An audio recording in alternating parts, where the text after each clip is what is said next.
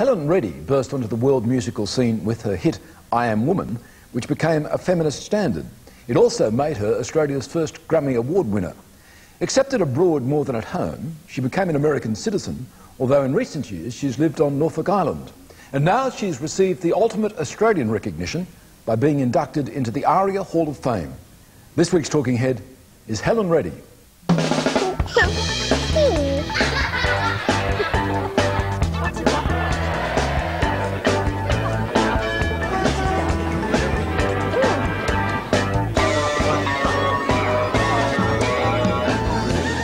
It's great to have you on Talking Heads. Oh, thank you, Peter. Thank you so much for having me. You've always been a fighter after things. Yes. What's that about? I've always had very strongly held beliefs. And uh, one of them since a very early age was that women were not getting a fair go. And uh, I, I determined, I think, very early on that I was going to live my life as if I were a man, that I was not going to let any of those restrictions hold me back, that women shouldn't do this or that or... When you say early on, you, you talk about this being a revelation to you, even at the age of four. What happened? I was uh, in Perth. My parents were doing a, a show there. And uh, several of the comedy sketches bothered me because they were sexist. I mean, I, I wouldn't have called it that at the time. I didn't know why they bothered me at the time. Even at four? Even at four. So, you know, I did recognize exploitation when I saw it. You're from a family of strong women, too. I'm from a family of strong women. And certainly, uh, you know, in the era I grew up in, the 40s and, and 50s, uh, women were encouraged to stay home and be dainty and feminine, whatever that meant. And uh, when I looked at the women in my family, they, they all worked. They all kept house at the same time. They'd all had children. And, um, you know, certainly my grandmother had, had kept the family together through two world wars and a depression, despite the fact that she was married to a, a severely alcoholic man.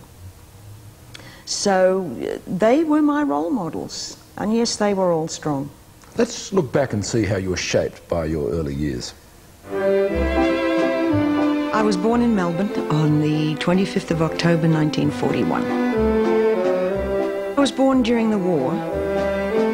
There was shortages of just about everything. Those are my earliest memories. My parents, uh, Max Reddy and Stella Lamond, they both came out of vaudeville, and uh, in later years went into went into radio. But they, uh, I think the, the stage was their first love, as it was indeed mine also, out of all the media. In 1946, just after the war ended, they went to Perth and they did a series of variety shows there. And so that's where I made my professional debut. I had a, a little smocked dress that I would wear, and I used to come on and sing the song. There were 27 babies at the baby show. My grandmother was very important in my childhood. She, uh, she and my Auntie Nell, Mum and Dad would go out and do country shows. And so I used to stay with them quite often when my parents were on the road. My mother had been married before. She had been married and divorced, and my sister Toni was uh, seven years old. My father was uh, always fascinated by American culture. We always had American magazines in the in the house. Everything was bigger and better and newer, and I thought, oh, I've got to go there and see all that. Becoming a star in America meant you were a star internationally, and I wanted a global career. I started doing shows on Channel 9 and Channel 2 and doing some nightclub work and so forth. You're my world, you're every breath. Then I made the mistake of getting married when I was 19, way too young. You're my world. We moved back to Melbourne and I had a baby. I had my little girl, Traci. And, but by that time the marriage was, was over. The marriage ended uh, during my pregnancy. I think I'd have a better chance of advancing my career if I were in Sydney.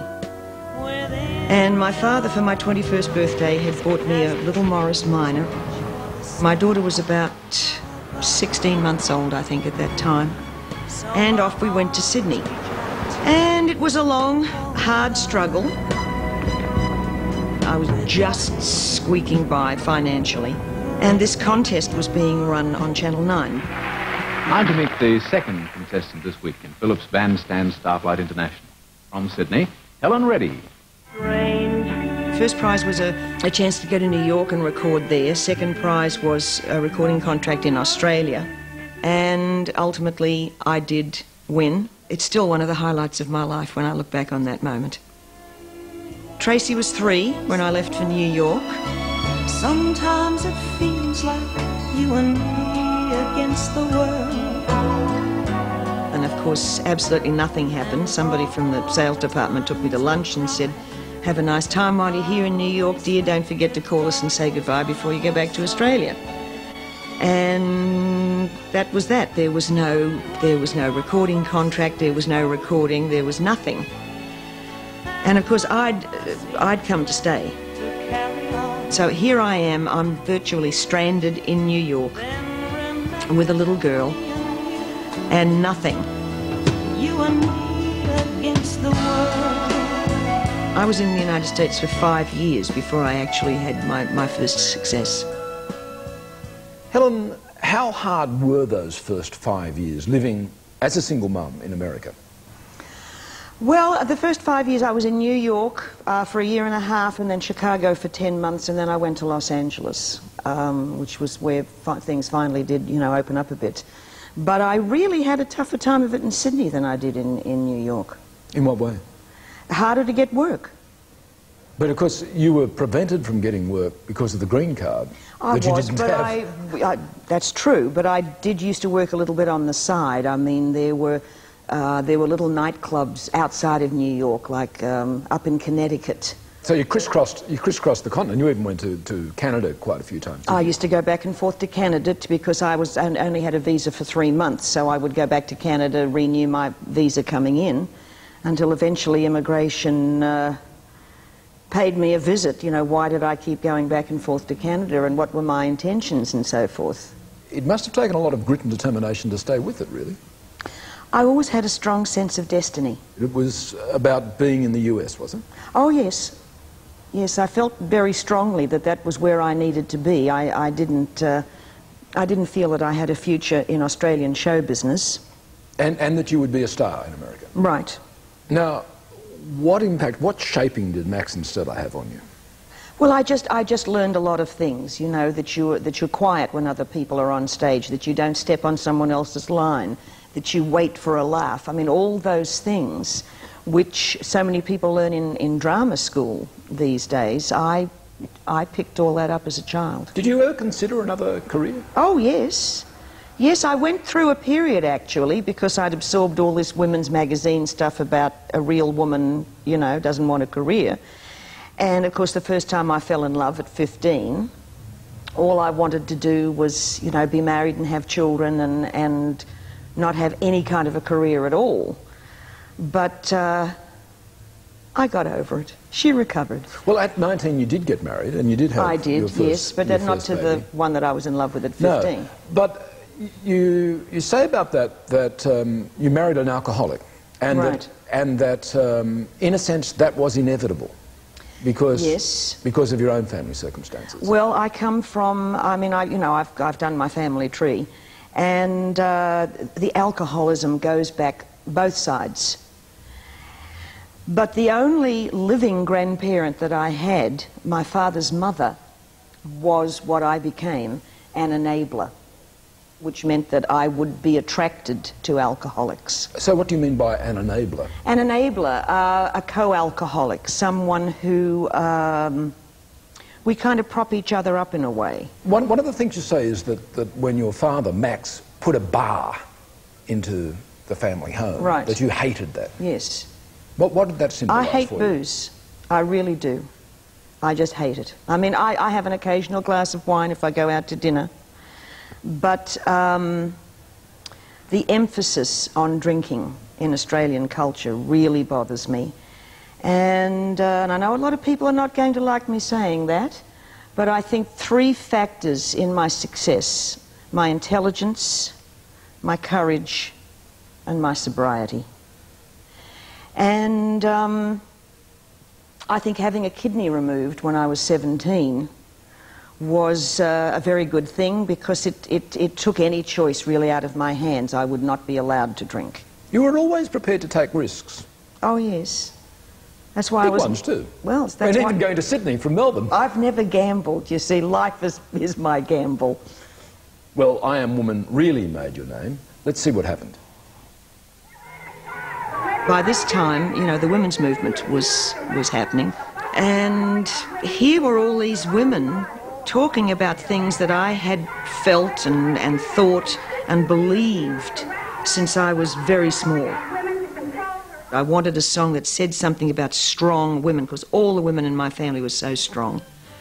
And so I had to sit down and write the words to I Am Woman. I am woman, hear me roar in numbers too big to ignore. And So many program directors and DJs would say, I'm not playing that song. So what I did was I went on 19 different television shows singing I Am Woman. And women started calling up radio stations and requesting the song. So through television, we forced airplay on radio. So it took nine months from the time that I Am Woman first went on the charts at number 99 until the time it went up to number one. That nine months also coincided with my pregnancy. My son, Jordan, was born the same week that I Am Woman went to number one. So that was a tremendously emotional time for me. The winner is Helen Reddy. I won a Grammy for I Am Woman. And for two years before I won the Grammy, every night when I went to bed, I used to recite the speech that I'd written for the acceptance. I only have 10 seconds, so I'd like to thank everyone concerned at Capitol Records. I would like to thank Jeff Wald because he makes my success possible, and I would like to thank God because she makes everything possible. And I did that at the old Grand Ole Opry in Nashville, Tennessee, which is the heart of the Bible Belt. And I mean, there was this audible intake of breath from the audience, you know. But uh, I knew that there were so many women who were watching the show who were going, yeah. Most people think, you know, this was the greatest year of my life because there was just all these amazing things going on in terms of my career. But on a personal level, my mother died in July.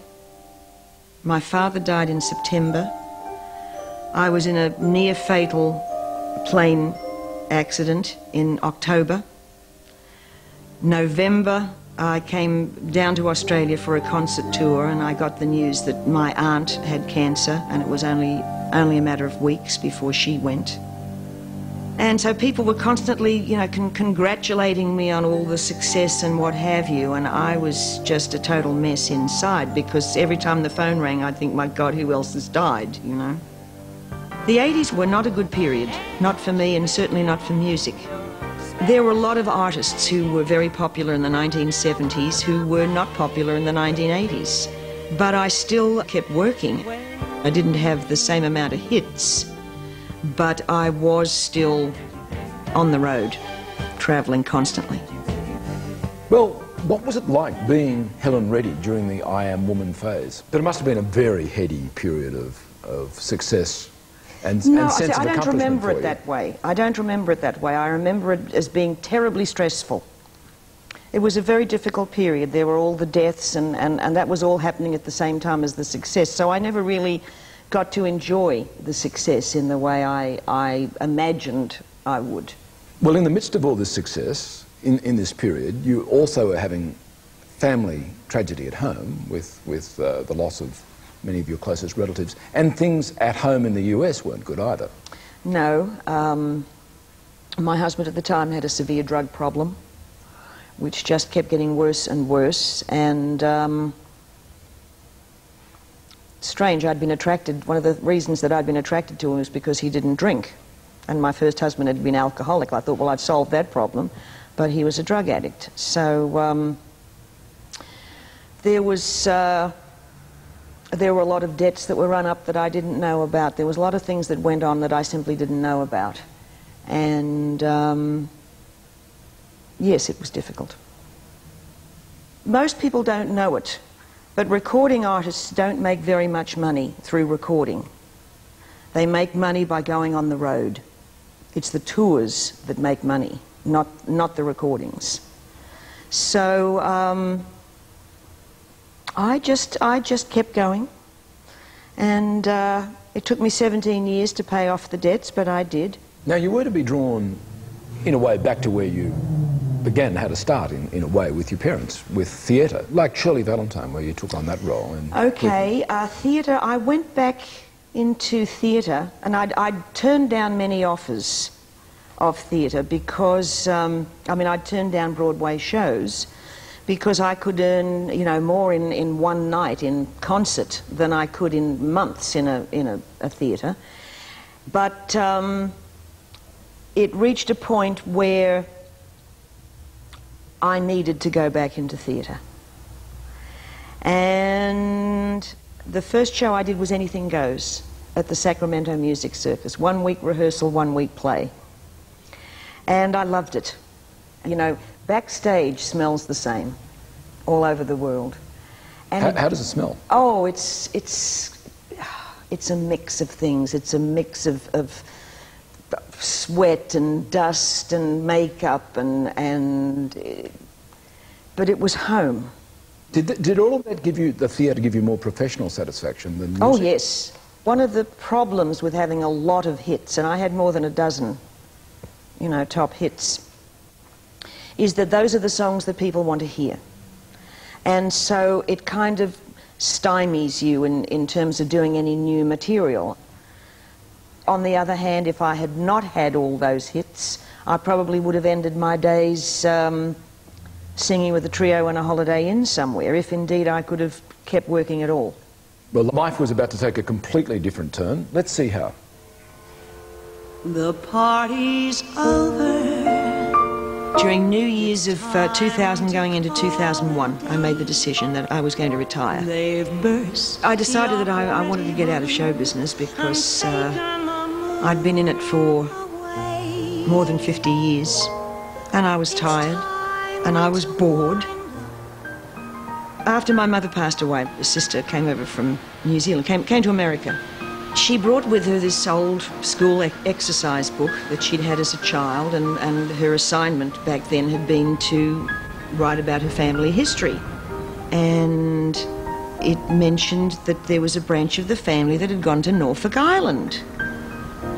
But then, as I'd gotten deeper into my genealogy and found out that my First Fleet ancestor had been sent here, that I became really interested in Norfolk Island.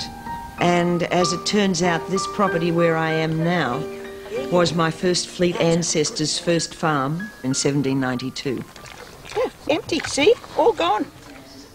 I'd planned on writing a book for years, but it was going to be about my, my family history and my genealogical research. And I certainly didn't want to do an autobiography, and I'd had offers, but uh, the publishers wanted something sen- sensational, you know, sex, drugs, and rock and roll. And I just hadn't lived that kind of a life and probably wouldn't have written about it if I had. Oh my God, I thought, I've died. I must have then gone back into my body because my next. I started writing about some of my various, you know, psychic experiences. And I couldn't write about them without putting them in the context of my life, without showing the growth, how I was affected by these experiences, how they impacted on future experiences. And before I knew it, I was writing an autobiography. or a memoir, we call it. And I made the move here. But I found that I was going to Sydney on a regular basis. And eventually it just reached the point where I was spending more time in Sydney than I was on Norfolk Island. So my life now is, is very much based in Sydney. Instead of living on Norfolk and visiting Sydney, now I live in Sydney and visit Norfolk. I've lived in seven different cities, and I think Sydney has the most to offer. I first heard about the Jessie Street National Women's Library uh, when I was invited to speak at a fundraising event. And of course, that was when I first learned about Jessie Street and what an amazing woman she was. It gives me a lot of pride as a woman that this library exists and that it is such a, a wonderful resource for women about their own history. Beautiful Ethel Turner ones. Look at this. Early editions, we've got a lot of those. I Here. didn't realise she'd written so many books. Oh, yes. Jessie Street, she not only marched with the uh, suffragettes in, in London when they were campaigning to get women the vote, but uh, she was also the only woman in the Australian delegation to the founding of the United Nations in 1945. I really wish I'd known about her earlier because it would have been very comforting for me to know that I wasn't the only one who had some of these ideas. Reddy was honoured as a living legend. It was kind of weird. The bulk of my career by far was, was in the United States of, America. And so I wasn't really expecting any Australian acknowledgement. So when it came, it was, uh, it was quite moving. I thank you for this very special award. And most of all, I thank you for welcoming me home. It was acceptance as well as recognition. And as I said at the end of my speech, thank you for welcoming me home. And I meant it. That acceptance back home was obviously really important for you. You know, I'd toyed for many years with the idea six months here, six months there, that sort of thing. But uh, I never imagined I would come home to stay. And that's the way it's worked out, and it's worked out very happily. When you were in the US, then what were you feeling? Clearly mixed. What, what were your feelings about Australia from that distance? Well, uh, you know, I am a sixth generation Australian, and I was born and raised here and spent the first 24 and a half years of my life here. So there was always a very, very strong attachment. But I did feel a tremendous amount of rejection. Rejection's a strong word. Yes. That rejection you, you felt, you mm-hmm. sensed. Not from the Australian people, not from the Australian people, but certainly from the Australian press. When you became an American citizen, and now you're a dual citizen because you can be, mm-hmm. was, was that part of it? It was more, I think, the decision to become an American citizen was, was very much triggered by my parents and Auntie Nell all dying within six months. And so I thought, because I'd always thought, you know, one day I'll, I'll go back and spend a lot of time there, and, and mm, a big reason for going back was now gone. And I felt that my, maybe my ties were broken with Australia, but they weren't. I, you know, I continued to come back here. And also, I am, I'm very Australian in a lot of my ways. Like what? I have a value system, I think, which was shaped by my years in Australia. And those values are about? Those values are about uh, honesty and, and truth and No, not a lot of the BS that goes on. As a schoolgirl, you had an out-of-body experience. And you've also been, you've had a very long interest in hypnosis. I'd actually Yes. practiced it. Yes, I went back to school and got my degree as a clinical hypnotherapist at the age of 60. This first out-of-body experience was looking down at yourself. You Oh, yeah. Looking down at yourself and seeing yourself, what, fainted on the ground? I'd it? fainted, but I didn't know that. I was at the back of the room looking down, and there was this girl. Was we was at school? We were all in identical uniforms, and I thought, oh, someone's fainted. I wonder who it is, and zoomed in for a close-up, and that seemed natural at the time that I had that freedom of movement. But you're too scared to talk to anybody about it. Well, I didn't talk about it for years. I thought they'll lock me up. They'll think I'm a, you know, I'm a nut job. But uh, it did. Uh, I did later in in my teens develop an interest in reincarnation, and um, I've, I've studied metaphysics for 50 years, and so I have very firmly held beliefs as to what does actually happen when we die. Fundamentally, you do believe Yes. in reincarnation, don't Oh, you? yes, I do. I do. In fact, I, um, I went into my hypnotherapy practice with the intention of doing past life regressions. But I, don't, I have no fear of death. I have no doubt of eternal life. And it's been like that since I was 11. When you see someone like uh, Vanessa Amorosi sing Yes. I Am Woman, Yes, she thrilled me. She's a wonderful singer. I hope she records it because she, uh, I think she sings it much better than I did. And, and well, that's, that's a big compliment. Also, when you go and make a speech at a school, Mm-hmm. uh, as you've just, just done, what, what do you feel? What do you want to communicate to young women? Well, what I, uh, what I've always tried to do with my music, which is inspire, educate, and comfort. I think those are the, are the three things that any artist should be trying to impart. And I should ask, which is the most important of those three? Which is three the most important of those three? Well, it depends on the individual because some people may be more in need of comfort at one particular moment, or other times they may be more in need of inspiration, and certainly we can all use education. Helen, it's been great talking to you. Thanks for coming on Talking Heads. Thank you, Peter. And that's Helen Reddy. We'll be back with another program at the same time next week. If you'd like to look at our website, we're at abc.net.au slash talking heads, and I'll see you soon.